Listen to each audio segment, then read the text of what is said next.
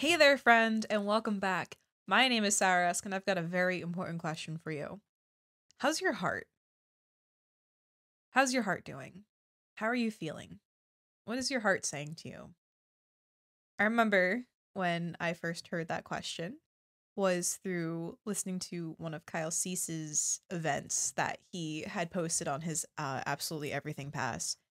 And he was talking to the audience and he was asking, you know, what does your heart feel? What is your heart saying? And this was probably about a year ago, maybe a little bit longer. And I remembered putting my hand on my chest because, you know, where you place your attention is where you place your energy. And when you touch your heart, you're kind of focused in on that area. Though I have split focus sometimes where I'm focused on so many different places at once. And, you know, I was listening to what the audience members were saying, and some people were saying that they were happy, that they were elated and joyful, some were sad. And I like had to kind of keep moving around on my body because I was like, I don't I don't particularly feel anything. Like I, I don't feel anything. So I stopped and I I took a couple of deep breaths and if anything, I just had so many thoughts just kind of going through. And then I was like, I, I feel very frustrated. And then I kind of gave up on it. so a couple more times throughout, you know, last year, I would hear that question through, you know, an event that he was doing or a talk he was giving. And I became really good friends with this incredible woman named Jo Brooke, who's from Australia. And anytime I would see her or we would talk, she would always ask me, How's your heart, honey? And it's such a great question. And it's taken me it's taken me a while but I think I'm finally able to hear what my heart is saying. And I have to tell you that that is one of the most important questions that you can ever ask yourself. How's my heart? How is it? Anytime I start to get upset, emotional, frustrated, or even happy, I'll put my hand on my heart and I'll focus on it and I'll just kind of take a couple of deep breaths and soften into that moment. Take a second, friend, I just do that. Just take take any hand. I'm left-handed, so I naturally go for for this one. And just place it on your chest and just take a deep breath in and then just let it out. And then just feel. You can feel your heart beating. You can see what pops up in your mind and whatever it is, it's perfect. You know, whenever I would feel frustrated while doing this exercise, it was because I was feeling frustrated. My heart was frustrated that's kind of like one of the layers that was that was up there.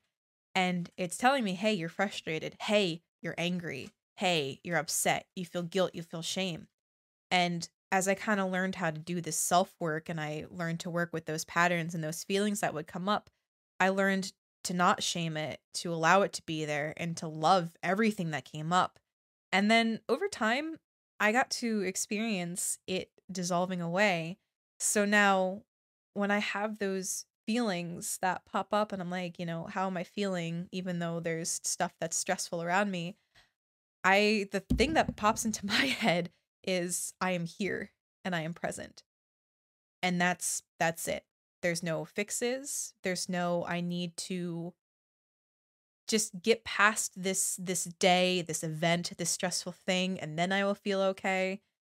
I just feel my heart and I'm like I'm just I'm here and I feel my heart beating and I'm just here and I'm present with it.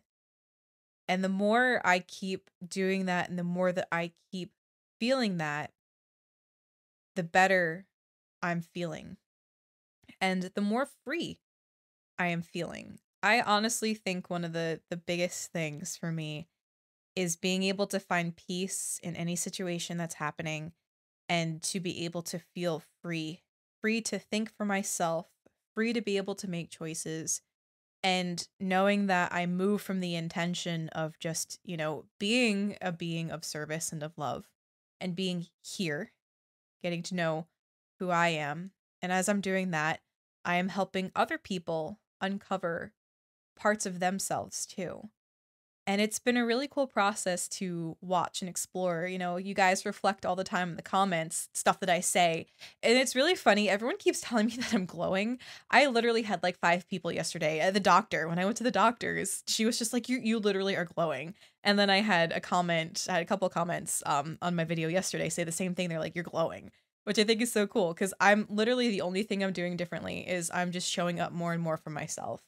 I am not giving my power away to outside things. I'm thinking for myself.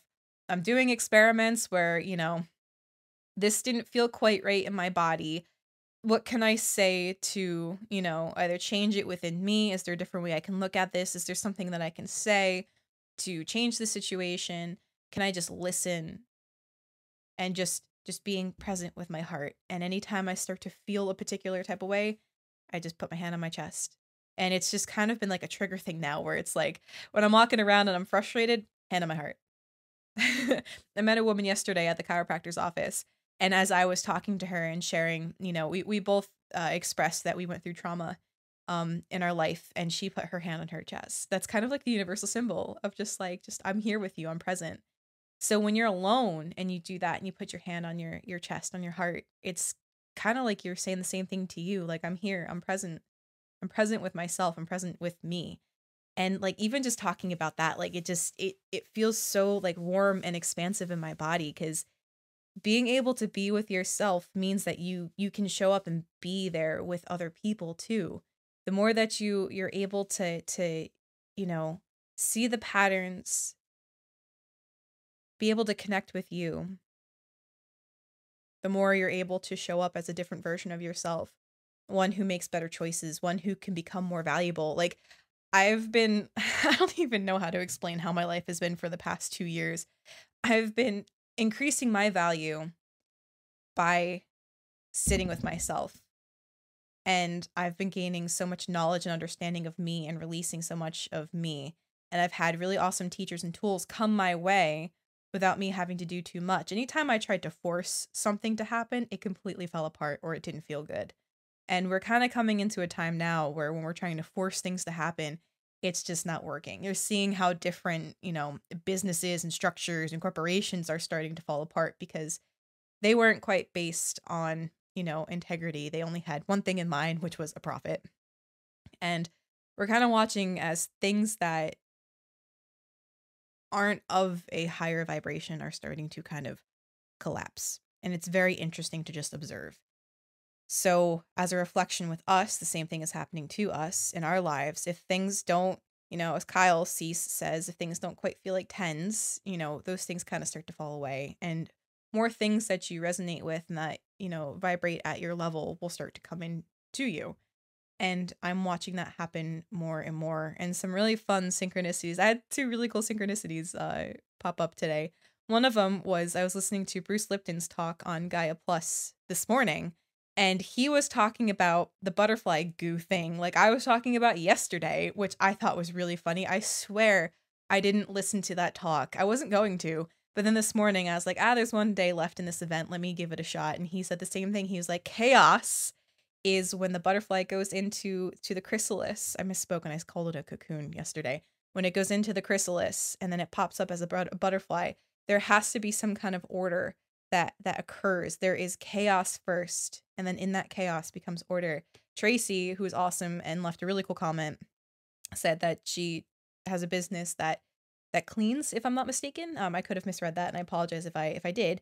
Um, but she sees you know that there's chaos because there's a mess that's got to get cleaned up and then she goes through and she cleans it and creates order and that's kind of the same thing that's happening to us in our lives like we've got you know all these particles and and proteins and cells and we are just we are a gigantic like rod of energy and us breathing in this air like god is the air this is the god particle it's it's in the air i swear i'm learning so much and i'm trying to learn as much as i can about the breath, you know, being spiritual means one who breathes. Spirit is breath, the breath of life. Like you can only you can go a couple of weeks without food, you go a couple of days without water, but you literally can only go like minutes without air. Air is important.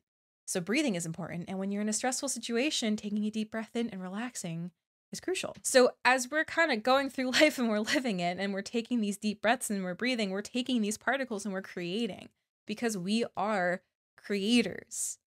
And it's incredible when we kind of realize that and realize how powerful we are and how we don't have to give our power away to other things. And instead, come back here, put your hand on your heart and ask, How are you doing? How are you feeling today?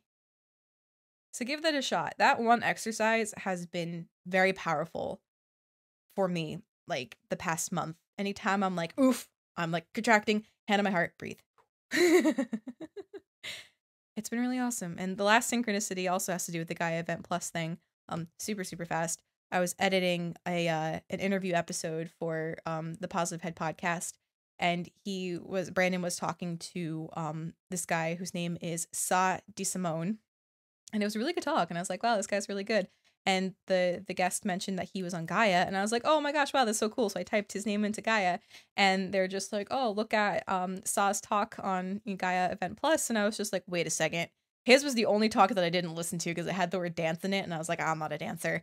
And sure enough he was he was on the event and i saw his name but it just didn't click in my brain which i thought was a really funny synchronicity.